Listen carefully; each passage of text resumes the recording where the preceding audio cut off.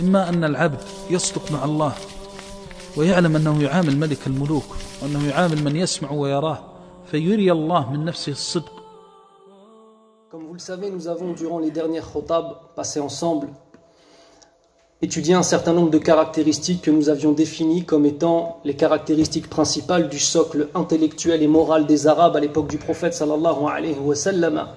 Et nous avions mis en évidence que ces caractéristiques ont été parmi les grandes causes du choix d'Allah Azzawajal du peuple arabe pour porter le message de l'islam, en tout cas dans les premiers siècles de la naissance de l'islam.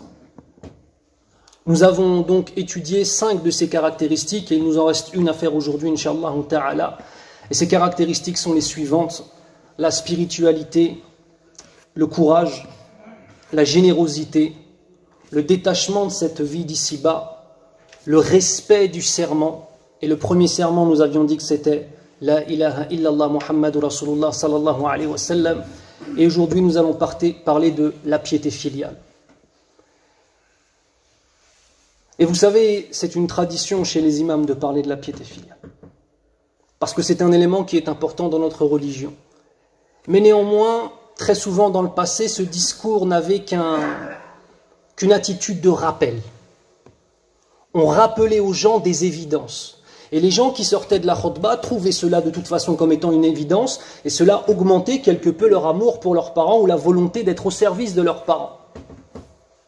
Aujourd'hui, les temps changent. Et lorsqu'on traite ce type de sujet, nous ne sommes plus simplement dans un simple rappel d'une réalité, mais nous sommes dans un enseignement. Des gens parmi ceux qui disent La ilaha illallah Muhammadu Rasulullah sallallahu alayhi wa sallam ont perdu ce sens, ont perdu ces valeurs de la piété filiale. Nous sommes dans une société qui nous pousse à l'inverse de cela. Nous sommes dans une société qui fait la glorification de l'âme. Al-ananiya, maradun ajib. L'égocentrisme, pense qu'à nous. Jusqu'au moment où même nos parents, ceux qui nous ont donné la vie, ceux qui nous ont élevés, nos mères, qui lorsqu'on était malade, pleuraient à notre chevet, nos pères, excusez-moi l'expression, mais qui se sont cassés le dos au travail, en étant en plus très souvent dans des, dans des emplois non qualifiés, ça a été très très dur. Ils ont quitté leur pays, ils ont quitté leurs parents, ils ont tout quitté. Quand tu leur poses la question et que tu dis pourquoi tu es parti du bled d'Akhil Karim, en tout cas les anciennes générations, ne te dira pas pour moi, te dira je suis parti pour mes enfants. Je suis parti pour leur offrir un futur. Et de ces parents qui ont tout sacrifié pour offrir un futur à leurs enfants, ils trouvent des enfants qui ont construit leur futur sur kufrun ni'am. Le fait de faire la mécréance vis-à-vis des bienfaits qu'Allah Azza leur a donnés. Aux bienfaits de leurs parents, ils y répondent par l'oubli de leurs parents. Mais je ne vais pas simplement traiter de la piété des enfants envers leurs parents, parce que ce n'est qu'une partie. Il y a aussi la piété des parents envers leurs enfants. Malheureusement, c'est quelque chose qui est assez souvent oublié. Les parents ne sont pas des dirigeants de pays dictatoriaux qui n'ont aucun devoir envers leurs enfants. Les parents ont des devoirs envers leurs enfants. Et le résultat de la personnalité de nos enfants sera aussi le résultat de l'éducation qu'on va leur donner. Harry, quel âge tu as? Combien d'années il nous reste à vivre? On ne le sait pas, bien évidemment, mais plus on augmente dans l'âge et plus, dans la logique des choses, le al-ajal, c'est-à-dire la fin de notre vie, se rapproche. Il faut se poser la question profondément de qu'est-ce que nous allons léguer Ikhwan, on ne va pas léguer des maisons. Ta maison au bled que tu as mis toute ta vie à, construire. Dans le meilleur des cas, tes enfants vont respecter les règles de la charia pour la partager et ils ne vivront pas au bled. La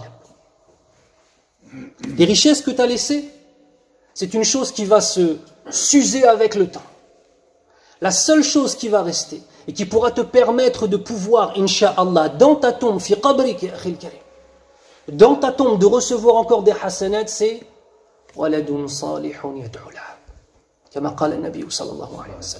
un enfant pieux qui fait des invocations pour toi. Notre héritage, c'est nos enfants. Et nos enfants sont une part de cette umma. Et nos enfants sont le futur de cette umma. Regardons un petit peu l'état de nos enfants et questionnons-nous sur les causes de cela.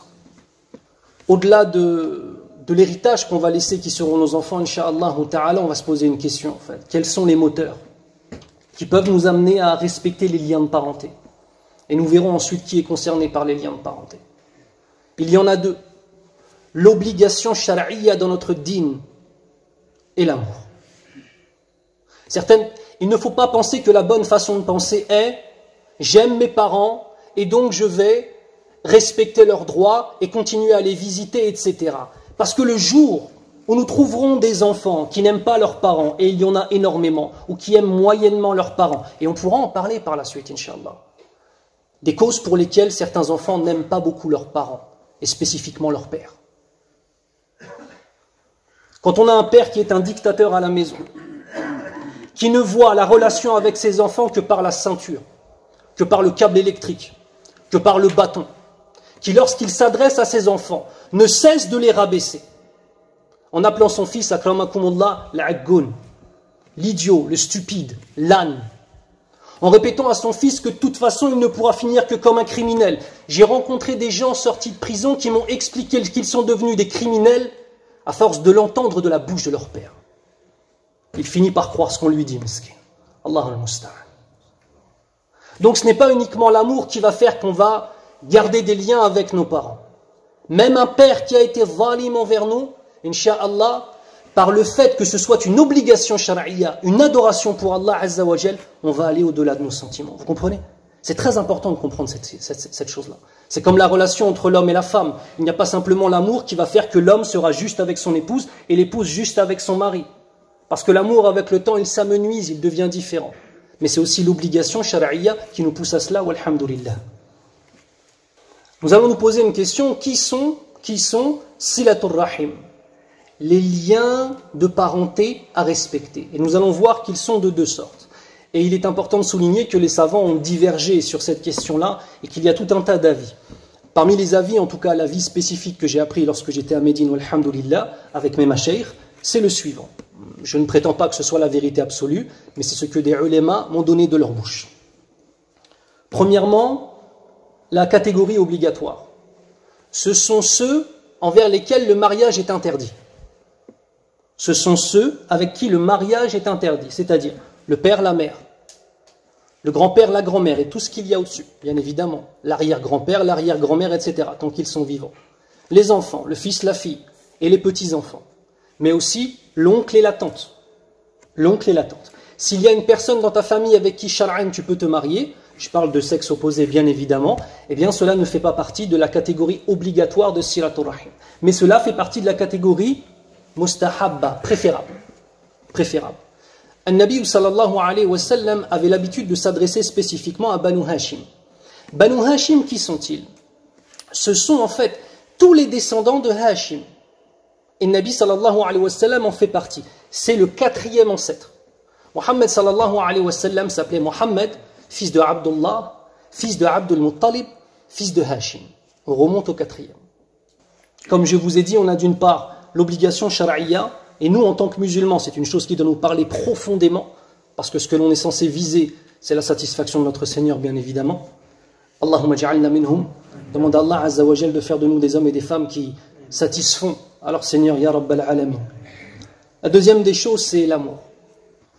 Et comme je vous l'ai dit, il y a deux dimensions. La dimension de la charia, l'obligation d'avoir une piété envers nos parents et envers nos enfants, bien évidemment.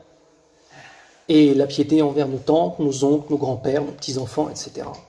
Mais d'autre part, il y a aussi l'amour. Donc on va simplement donner une image très simple, mes frères. Le cœur est une balance. Et dans cette balance, il y a des choses qui pèsent un poids qui est différent. D'un côté, on a par exemple le respect du droit de nos parents, l'amour de nos parents. Et de l'autre côté, il y aura d'autres choses.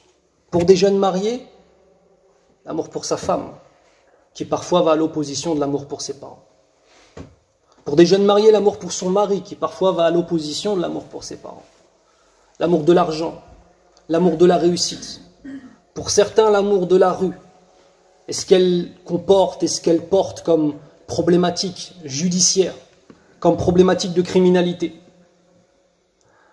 En fait, tout simplement, une personne qui rentre en prison en raison de ses actes, je ne parle pas de quelqu'un qui a été emprisonné injustement, mais une personne qui rentre en prison en raison de ses actes, il y a eu dans son cœur une balance. entre faire pleurer sa mère et son père d'un côté, et prendre de l'argent facilement, ou simplement des fois il n'y a même pas d'argent au bout de la chose, c'est juste pour être, excusez-moi, être un peu stylé avec les gens. En fait, la balance a penché vers autre chose. Et c'est la raison pour laquelle l'amour est une chose qui est fondamentale. Comment peut-on prétendre aimer ses parents lorsque l'on sait que si on rentre en prison, nos parents rentrent en prison avec nous? Ah, pas leur corps, mais leur cœur. Pas leur corps, mais leurs âmes leur pensée, leur esprit est sans arrêt avec toi. Allah les parents dont les enfants sont en prison, le père est détruit, il a l'impression d'avoir tout manqué. Il a l'impression de pouvoir mourir demain et il a tout manqué dans sa vie. La mère, elle est dans un désespoir profond. Il y a des mères et des pères qui ont attrapé des cancers en raison de l'incarcération de leurs enfants. Et ici, spécifiquement, à Roubaix, ça devrait vous parler. Tout comme ça parlerait spécifiquement aux gens de Paris. Allah al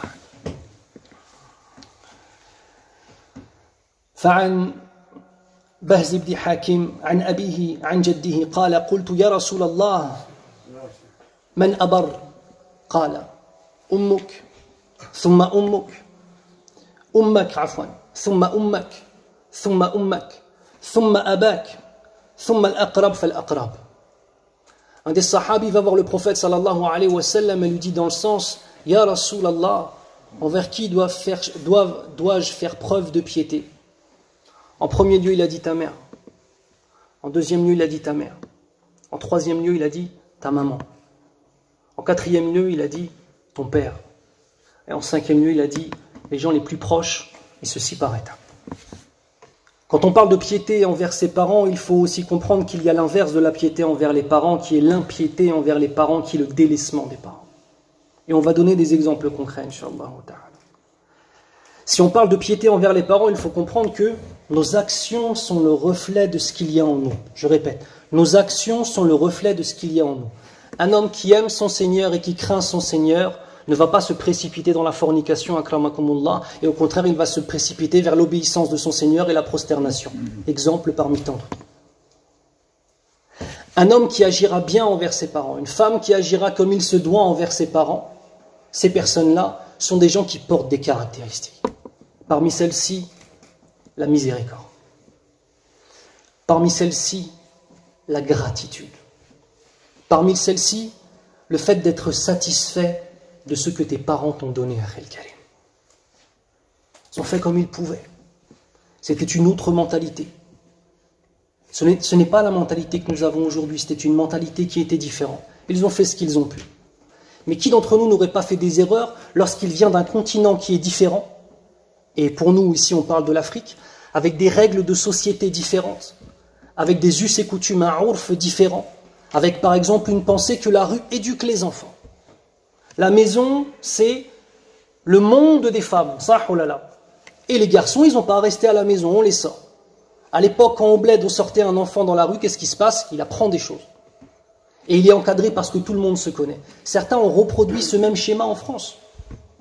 Ils disaient leurs enfants sortent du matin au soir. Sauf que la rue ici, elle, elle éduque pas.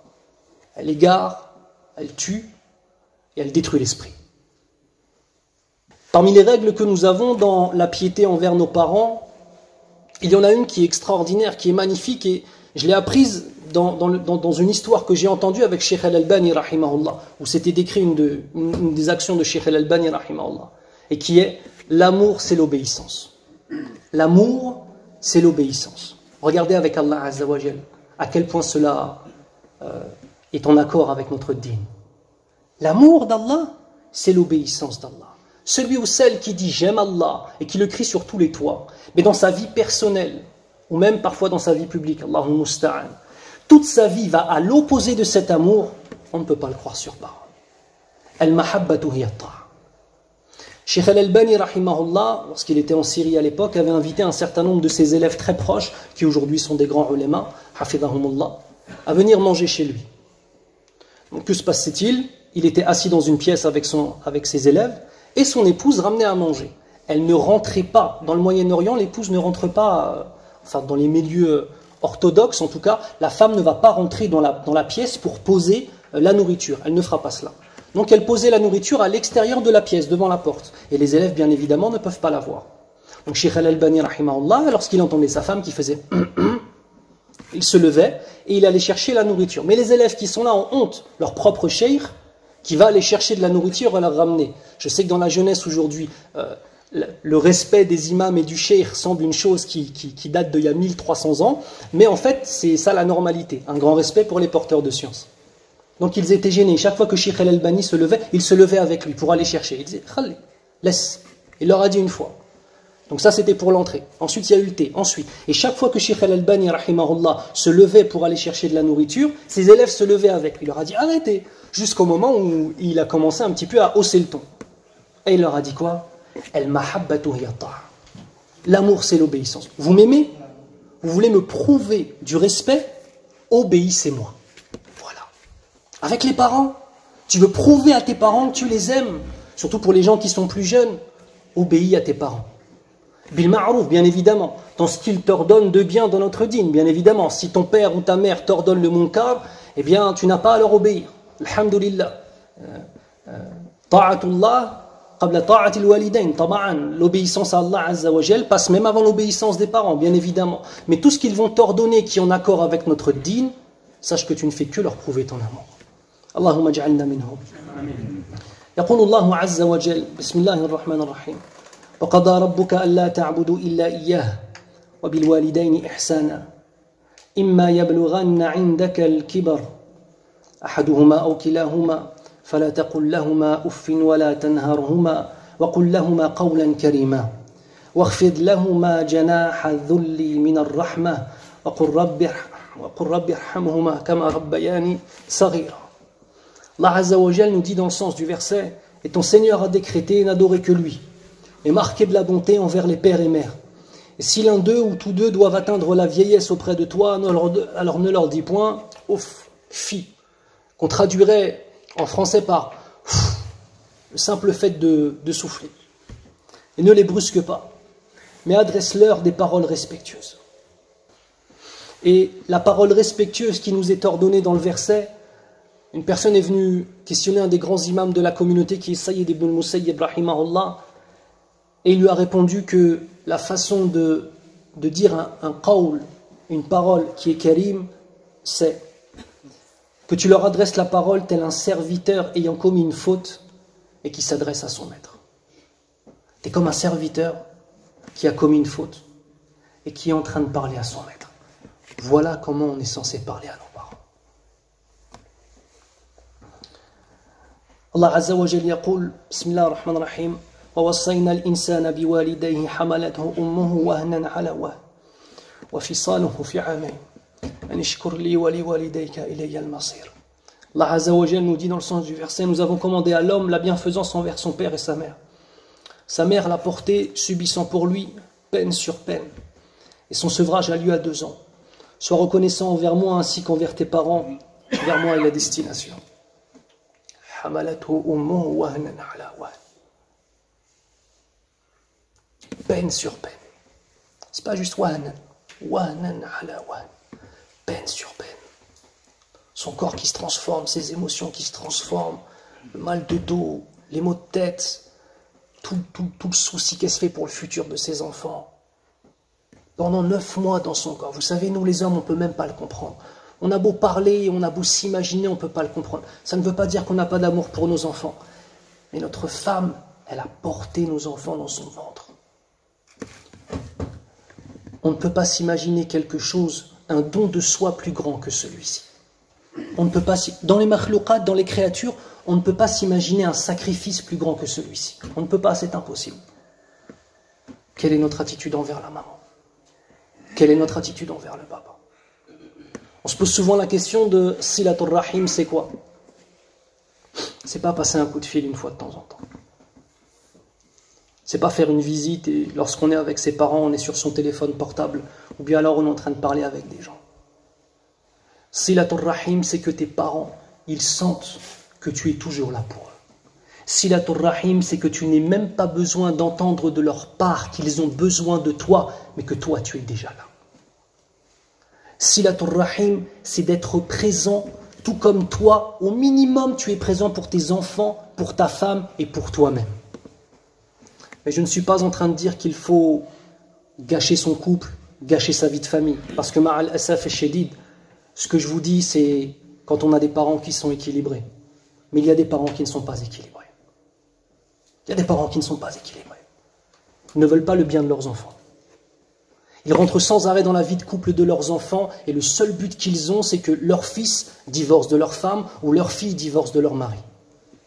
Ou alors, au contraire, au lieu d'entendre que cette fille se fait battre par son mari depuis des années, qu'il ne paye aucune facture et qu'elle est mahgoura, miskina, que sans arrêt elle se prend la hagra, il lui dit non, c'est la chouma, le divorce. Non, non, non, tout n'est pas le divorce. Écoute ta fille, écoute ton fils, vois ce qu'ils veulent. C'est ça le rôle d'un parent. Et c'est là aussi la Rahim, nous aussi on va le respecter. Parce que si la Rahim, ce n'est pas uniquement la relation des enfants envers les parents, c'est aussi la relation des parents envers les enfants. Être là pour les parents, mais que les parents n'oublient pas qu'ils ont une responsabilité devant Allah Azza wa Jal. amana. Nos enfants, c'est un dépôt. Et on va être questionné sur ce dépôt au jour du jugement. Voilà, shakka fi فقد قال رسول الله صلى الله عليه وسلم اتقوا الله واعدلوا بين أولادكم كما تحبون أن يبروكم On doit comprendre que la piété envers nos enfants est un élément qui est essentiel dans la relation entre les parents et les enfants, bien évidemment. Personne n'aime son dictateur ou alors en tout cas tout ce qu'il en restera, c'est ce qu'on appelle le hubbul fitri. Un enfant, même si ses parents lui ont fait beaucoup de mal, il va garder quand même un certain amour qui est le hubb fitri. Mais il aura du mal à respecter silatul rahim. Et il faut se poser la question en fait du comportement de nos enfants. Il m'est arrivé de gérer des crises familiales où les parents se plaignaient de leurs enfants et lorsque l'enfant devant les parents explique quel type d'éducation il a reçu, quel type de torture corporelle, c'est le terme à employer, des tortures corporelles ont été faites contre lui Quel type de relation, d'agressivité, d'absence d'amour Ils ont juste appris à être comme leurs parents. Donc il ne faut pas s'étonner parfois de voir des enfants qui ont un comportement envers, leurs parents qui sont, qui sont loin. Ça va jusqu'au fait que, excusez-moi, le minbar, له مقام صحيح ولكن الحق يقال ولكن الحق يقال Le minbar, il est sacré, je le sais bien, mais il faut dire les choses. Moi, j'ai plein de femmes qui me demandent si elles ont encore l'obligation d'avoir silatul rahim avec leur père, parce qu'étant petite, il les a violées. Les choses sont compliquées, c'est la raison pour laquelle, quand on est sur le minbar, on parle de familles qui sont équilibrées. Les familles qui sont déséquilibrées, c'est un autre discours. Et on ne peut pas sortir les ahadiths de Siratul Rahim euh, d'un père qui a violé sa fille, ou d'un oncle qui a violé sa fille, ou qui a violé son neveu. Nous avions donc, euh, parmi les règles de bienséance envers les enfants, le fait de leur choisir un nom qui soit un bon nom, un beau nom. Le fait de leur enseigner le din, le fait de leur enseigner le Coran et le Karim, et non pas simplement de leur enseigner Surat al-Fatiha en les jetant à la mosquée une fois par semaine. Je suis en train d'enseigner le sens des versets du Coran à travers notre comportement. Donc si on veut comprendre que l'enseignement de nos enfants fait partie des droits de nos enfants, c'est pas simplement leur enseigner Surat al-Fatiha, c'est leur enseigner l'amour de la prière. Hubbuddin, l'amour d'Allah, l'amour de notre dîne, l'amour du prophète sallallahu alayhi wa sallam, l'amour des sahaba radiyallahu anhum, et pas simplement le fait de mettre nos enfants à la mosquée une fois par semaine en ayant le sentiment qu'on s'est acquitté de notre obligation. L'enseignement de l'islam à nos enfants, le fait d'être bon avec eux, le fait d'être juste avec eux, et le fait d'être équitable entre nos différents enfants. Le prophète sallallahu alayhi wa sallam nous dit dans le sens, craignez Allah azza wa jal, et soyez équitables envers vos enfants, tout comme vous aimeriez qu'ils soient justes envers vous à travers la piété filiale. اللهم ارزقنا ذلك يا رب العالمين وكذلك حسن التربية حيث يجب على الآباء أمر أبنائهم بالمعروف ونهيهم عن المنكر حتى ينجوا من عذاب النار ويدخلوا الجنة كما قال تعالى بسم الله الرحمن الرحيم وأمر أهلك بالصلاة واصطبر عليها لا نسألك رزقا نحن نرزقك والعاقبة للتقوى Le prophète, euh, Allah Azzawajal nous dit dans le sens, et commande à ta famille la salah, et fais-la avec persévérance. Tu la commandes et tu la fais. Et les enfants voient les résultats de cela. Nous, ne te demandons point de nourriture, à nous de te nourrir. Et la bonne fin est réservée à la piété. Pour résumer, il y a des questions de fond qui se posent en fait. Qu'est-ce qu'on doit faire? Parce que là, c'est des discours, c'est ce qu'on aimerait voir, mais qu'est-ce qu'on doit faire?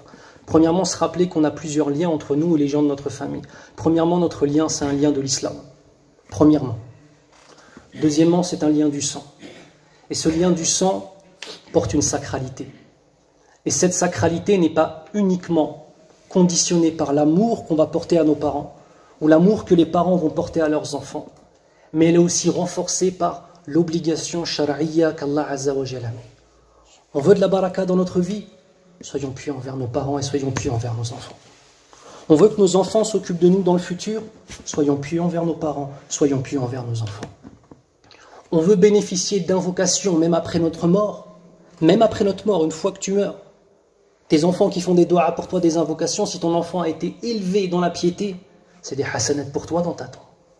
إن الله وملائكته يصلون على النبي يا أيها الذين آمنوا صلوا عليه وسلموا تسليما وقال النبي صلى الله عليه وسلم من صلى علي صلى الله عليه بها عشرا اللهم صل على محمد وعلى آل محمد كما صليت على إبراهيم وعلى آل إبراهيم وبارك على محمد وعلى آل محمد كما باركت على إبراهيم وعلى آل إبراهيم في العالمين إنك حميد مجيد.